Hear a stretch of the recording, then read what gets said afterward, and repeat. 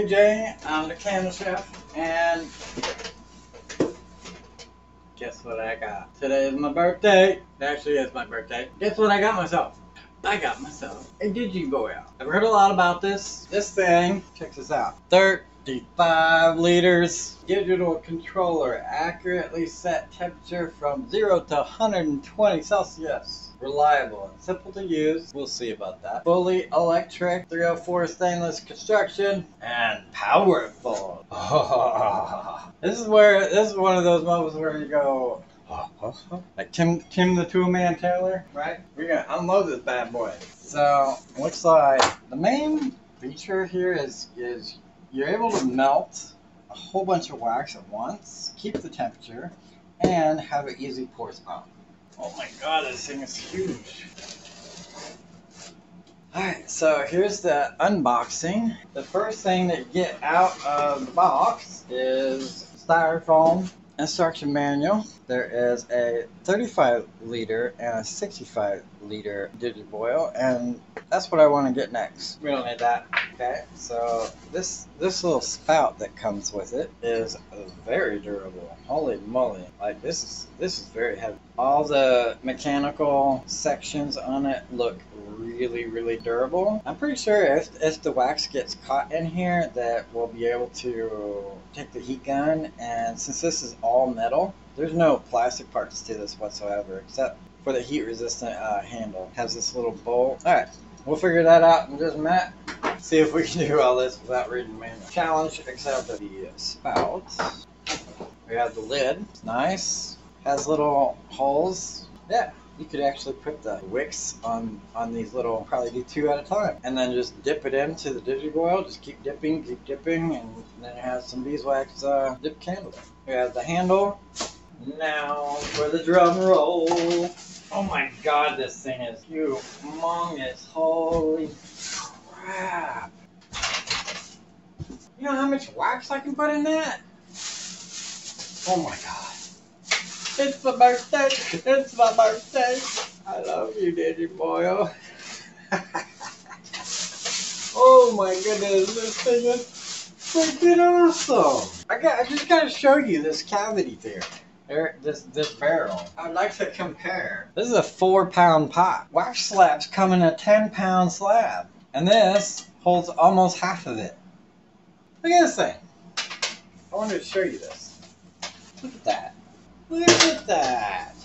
That's a lot of wax. I've been having problems with figuring out how to mass produce things, and I don't think I have that problem anymore. Hello! Echo! Echo! Whoa, whoa.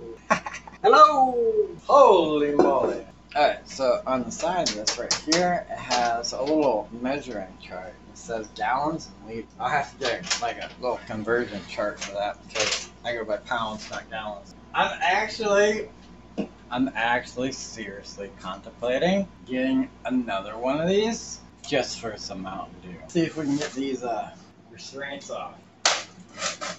And I know I'm not the only one. When I unpack something, I always look at it and consider, okay, what can I what can I use that for? You guys know what I'm talking about?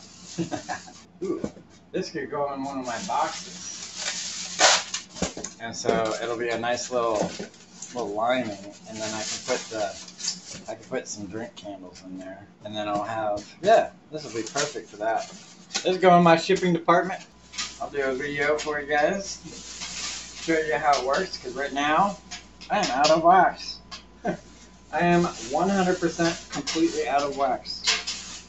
Like all the uh, everything on here is like super super robust and so it looks like we have a vent right there.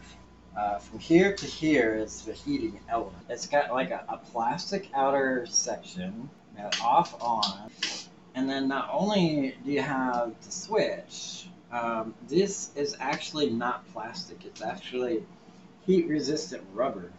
I really like that switch. Yeah. Alright, so we have the hole for the spout. So this goes in here. Maybe I'll, I'll get some rubber washers. Yeah, that's what I'll do. I'll get some rubber washers. That'll make sure the seal's are really nice. And I'll still be able to take it out to clean it. Yeah, this would be perfect. Like I can hold it here, the handle, and use my heat gun, and it'll uh, unclog this. Oh my goodness, this is huge. So we got our spout on. Oh, oh, it works. I got it.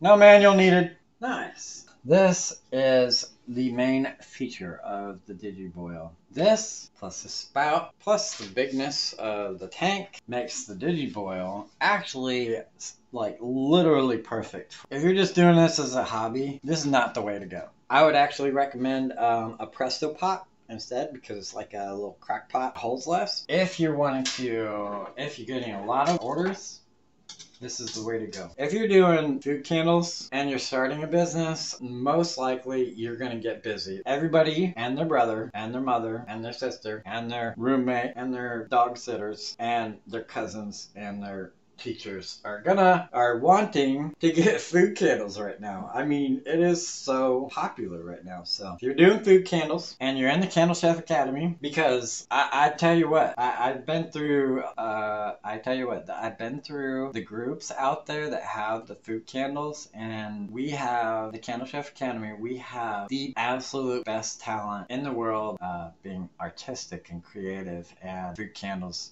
because some of the some of the creations that I see in there just uh, freaking amazes me. I, I really love everybody's uh, everybody's creations in there, and I, I I love them so much that even though even though even though I know I could probably make them, I, I order from you guys all the time. I see something and I'll, I'll order. Like uh, I just ordered an eggnog uh, caramel a cinnamon cinnamon caramel eggnog candle, and I cannot wait to get that. That's gonna smell so good. But yeah, I order from you guys all the time. You guys are awesome. But anyway, so with this, this, and this, that's the main features. This right here, uh, you can do exact temperatures. Yeah, I wonder. Okay, so the spout, the spout right here is right next to the bottom of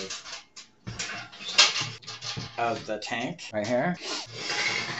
So whatever temperature it is, yeah, I, I see I see the temperature gauge.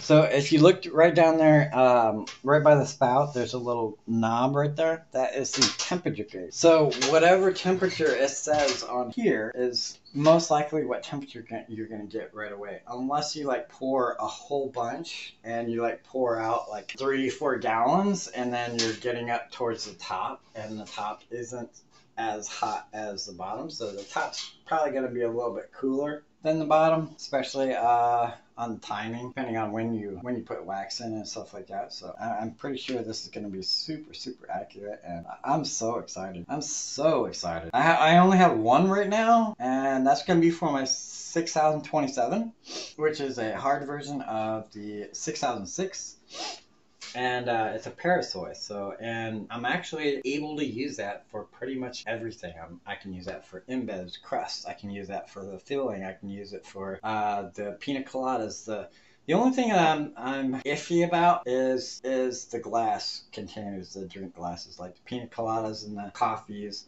since um, 6020 or yeah 6027 is parasoy it has a lot of paraffin in it. Uh, paraffin likes to shrink and i don't like the big old bubbles that you get when when wax shrinks. So we'll see we'll see. I may have to keep doing four, you know 444 in my pots. And just a little secret for you guys that took my classes. 6027 with with a little mineral oil works just as good as 444 in whipping cream.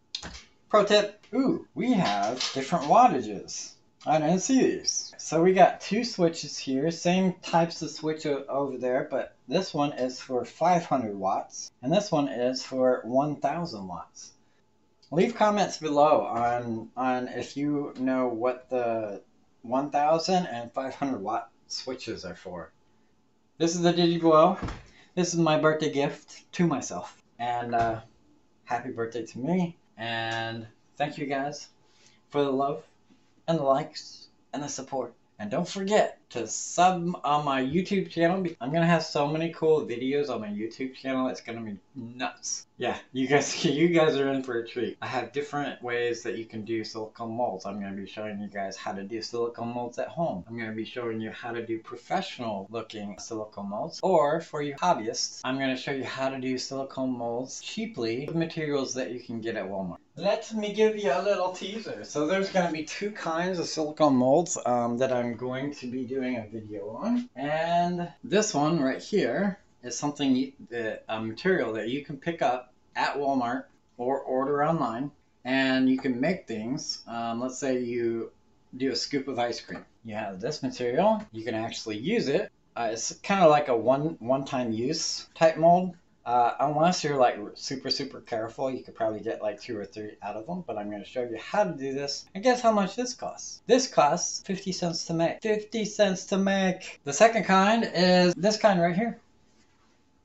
This thing uh, a normal uh, 5 inch crust mold, silicone mold, usually weighs in between 15 to 25 ounces, which is like a, a pound, a, like almost a pound to a little over a pound depending on the method that the silicone company uses. I am going to show you guys how to get this material, what company to buy it from, how to do it, how to get your actual uh, model and then how to do the silicone. And this thing actually weighs only about 3.5 ounces. Silicone usually uh, usually costs about a dollar an ounce. So with this only uh, only weighing 3.5 ounces, this 5-inch pie crust is only going to cost you $3.50 to make at home. And I'm going to show you how to do that. I'm going to show you how to do it for 50 cents, like a one-time use. And I'm also going to show you how to do it uh, with with professional grade uh, silicone. And I have so many things like that in store for the channel. Um, I'm going to show you guys how to do silicone molds, what waxes to use. Actually learning right now how to do FX, blockbuster movie grade FX and prop building. And I'm also learning how to do cosplay. And I'm going to mix FX and cosplay into food art.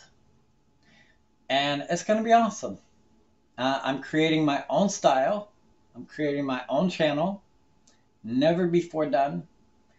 Don't forget to uh, subscribe so you don't miss out. And it'll probably be anywhere in between mid January and uh, beginning of February. But I'm, I'm hoping mid January. About the same time, I'm going to open the Candle Chef Academy. So if you guys are wanting to learn how to do candles, uh, I will have a, a legit Candle Chef Academy for you guys to do classes and courses and and get credits and get um, certificates and sign up for different things and yeah and request different things and yeah. It's it's gonna be great. It's gonna be huge. It's gonna be huge. All right. This is the Digiboil happy birthday to me. Thank you thank you thank you. Love you guys. Love I love the candle community. The candle chef